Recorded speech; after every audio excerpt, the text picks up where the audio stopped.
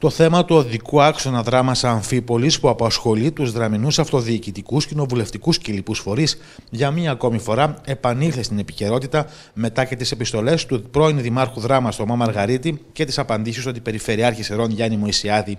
Ο βουλευτής δράμα τη Νέα Δημοκρατία Δημήτρης Κυριαζίδης χαρακτηρίζει το έργο αυτό ως γεφύρι της Άρτα και τονίζει πως τόσο αυτός ο οδικό άξονας όσο και οι κάθετοι άξονες δράμας Καβάδας και δράμας Αμφίπολης είναι ακόμη στη φάση των μελετών που έχουν ανατεθεί στην Εγνατία. Αναφορικά με το γεφύρι της Άρτα εισαγωγικά που είναι σε εκκρεμότητα δεκαετίες τώρα και κάθε λίγο και λιγάκι έρχεται ε, στην επιφάνεια. Ε, θα ήθελα να σημειώσω ότι ο δρόμος αυτός αλλά και ο κάθετος άξονας δράμας ε, Καβάλας, δράμας Αφίπολης βρίσκει σε επίπεδο ακόμη των μελετών. Ε, πρόσφατα έχω πληροφορηθεί ότι διασφαλίστηκε ένα ποσό των 240.000 ευρώ για το, τίμα, για το κάθετο άξονα δράμας Καβάλας σε επίπεδο μελετών προκειμένου να ενισχυθεί η Εγνατή ΑΕ, η οποία από το 2013 ύστερα από θέλετε, συνεργασία με τον τότε Υπουργό Υποδομών, τον κύριο Χρυσοχοίδη. Όπως παρατηρεί ο βουλευτής για το έργο αυτό, υπήρξαν έως τώρα πέντε ανάδοχοι, εκ των οποίων κανείς δεν κατάφερε να βγάλει άκρη με το συγκεκριμένο έργο. Ο κύριος Κυριαζίδης τονίζει πως πέρα από αυτό, ο υπάρχον δρόμος επιβαρύνεται καθημερινά, καθώς αποτελεί μια από τις βασικές οδικές αρτηρίες μέσα από τις οποίες μεταφέρονται οι όγκοι μαρμάρου που είναι ίσως το κυριότερο εξαγωγικό προϊόν της δράμας και συνδέει την περιοχή με την υπόλοιπη χώρα. Η, όλη διαδικασία από μελέτης μέχρι την κατασκευή έχει ανατεθεί στην Εγνατία ΑΕ.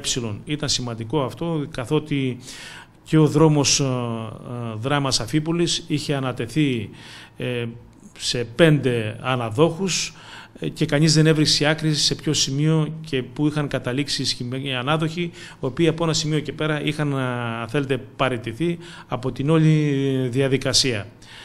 Ε, το θέμα όμως που προκύπτει είναι, έως ότου υπάρξει η κατασκευή, υπάρχει και μία οδός η οποία θα έλεγα είναι επιφορτισμένη με, με ένα θέλετε ιδιαίτερο βάρος ειδικότερα με, τα, με τις μεταφορές προϊόντων α, του τόπου μας, της δράμας δηλαδή, προς τη Θεσσαλονίκη και ειδικότερα μιλάμε για την βαριά σε εισαγωγικά βιομηχανία που έχουμε και εννοώ τα Μάρμαρα ότι αυτός είναι ο κατεξοχήν δρόμος ε, και επιβαρύνεται ειδικότερα και από την κυκλοφορία διότι αποτελεί την έξοδο προς το υπόλοιπο κομμάτι της χώρας μας. Ο δρόμος αυτός είχε εγκαταλειφθεί, σημειώνει ο βουλευτής Δράμας και παρατηρεί πως έχουν γίνει ακόμη και έμεσες πιέσεις απέναντι στο αρμόδιο Υπουργείο. Πράγματι αυτός ο δρόμος έχει εγκαταλειφθεί ε, και με την έννοια θέλετε της, των διαγραμμίσεων αλλά και με την έννοια της επίστρωσης υβλαβών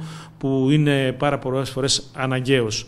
Πράγματι προσπάθησα με έναν τρόπο έμεσο να πιέσω ε, το Υπουργείο Υποδομών για την ε, διόρθωση, επισκευή, κατασκευή των κενών που υπάρχουν στο συγκεκριμένο οδικό δίκτυο. Τα στοιχεία που έδωσε η κυβέρνηση για τα ατυχήματα μιλάνε από μόνα τους για την τραγική κατάσταση του δρόμου. Το τελευταίο χρονικό διάστημα είχαμε 146 τροχαία ατυχήματα. Είχαμε, εξ αυτών δηλαδή τα 21 ήταν, ε, είχαμε, ε, αναφέρονται ως ε, τροχιά ατυχήματα με τραυματισμούς.